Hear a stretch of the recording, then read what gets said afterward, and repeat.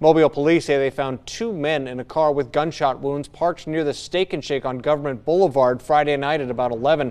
Both were taken to receive medical care, but one of the victims, 19-year-old Tremel Williams, later died from his injuries. Police say the shooting happened at Baytown Apartments on Village Green Drive East. That's about three miles away.